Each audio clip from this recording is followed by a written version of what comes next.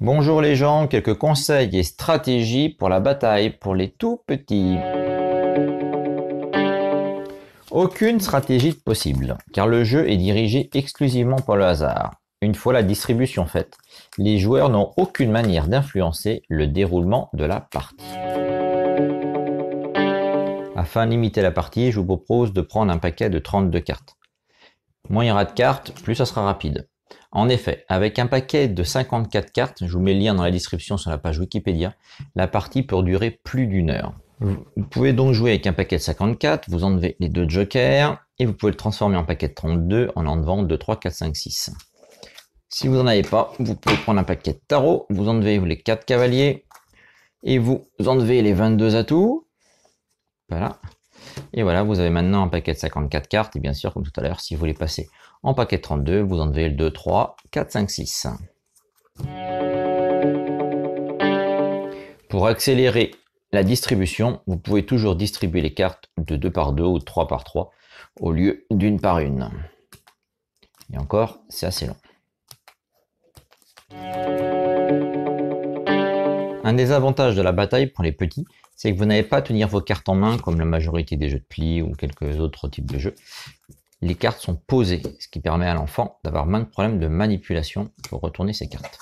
La bataille a de multiples vertus pédagogiques, notamment d'apprendre à compter, aussi apprendre à reconnaître les chiffres ou à dénombrer 1, 2, 3, 4, 5, 6, 7. Bien sûr, apprendre à plus petit ou plus grand que tel chiffre. On apprend aussi les égalités, que les chiffres sont les mêmes. On apprend aussi à travailler les formes que vous avez, éventuellement les couleurs, mais ça rouge et noir, normalement ça devrait être bon. Et pour terminer, le plaisir de gagner et aussi apprendre à la frustration de perdre, puisque la bataille, il y a toujours à chaque retournement de carte euh, un choix entre gagner ou perdre. Donc l'enfant va apprendre bien sûr à gérer ses émotions. Si vous ne voulez pas commencer avec les cartes de base, vous pouvez très bien construire vos propres cartes sur les petites feuilles cartonnées. Vous pouvez le faire vous-même ou le faire avec votre enfant. Ça fait partie d'une activité. Donc là, par exemple, vous mettez juste une forme sans rien dessus. L'idéal, c'est commencer à un moment à mettre le chiffre pour que l'enfant mémorise la différence, plutôt le lien entre le chiffre et le nombre d'éléments sur la carte. Donc là, c'est la même chose, avec des couleurs différentes. Bien sûr, vous pouvez faire des formes différentes. Là, il n'y a qu'un carré, il y a deux ronds, il y a trois triangles, avec du coloriage, des éléments non coloriés, etc. Vous pouvez même mettre les, chiffres, 1, 1, 2, 2 et 2, 3. Ah, bien sûr, là, je l'ai fait sur du feutre, sur des feuilles cartonnées, à vous de faire comme vous voulez. Vous pouvez même avec votre enfant le faire avec des gommettes pour qu'il colle les gommettes sur ses cartes. Si vous avez un vieux paquet de cartes, même incomplet, prenez les cartes de 1 à 3. Et en fait, si vous avez peur, votre enfant, en comptant les cœurs, compte aussi les petits qui sont là.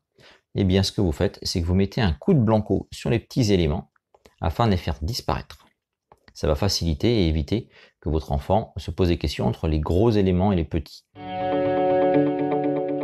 Comme expliqué tout à l'heure, je vous conseille pour les tout tout petits de commencer avec les cartes de 1 à 3. Et ce que je vous suggère, c'est de présenter les cartes avant de jouer avec votre enfant. Bien lui expliquer que ça c'est le 1, ça c'est le 2, ça c'est le 3. Et vous lui montrez qu'il y a trois éléments, il y en a deux, il y en a un. Si vous avez peur qu'ils confondent, etc., n'hésitez pas par exemple à ne jouer qu'avec les rouges ou ne jouer qu'avec les noirs.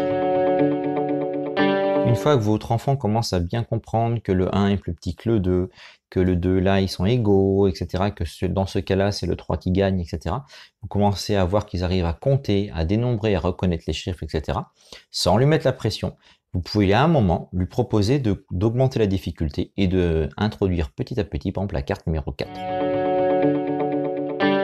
Vous savez la différence pour un tout tout petit? À compter, c'est qu'il va apprendre par cœur 1, 2, 3, 4, 5, 6, 7, 8 c'est pas du tout la même chose que dénombrer, c'est-à-dire de pouvoir compter 1 et 2. Et donc, pas de pression à partir de 3-4 ans. Vous pouvez voir en fonction de l'évolution de votre enfant euh, s'il arrive bien à, gérer ses, cartes. Et bien sûr, on n'augmente pas les cartes trop vite. Là, je vous dis au bout d'un moment de passer au 4, on passe pas directement du 1, 2, 3 à 4, 5, 6. Quoi. En fonction du nombre de cartes que vous avez mises et puis surtout de l'avancée de l'enfant, proposez-lui un moment que ce soit lui qui distribue les cartes afin de pouvoir voir qu'il ne se trompe pas en distribuant deux par deux ou une par une. Une fois que votre enfant a bien progressé, je vous propose vraiment de faire une pause quand il est rendu à 10, par exemple, de ne pas introduire une carte par jour, etc. Puisque ensuite, après, on va passer aux têtes.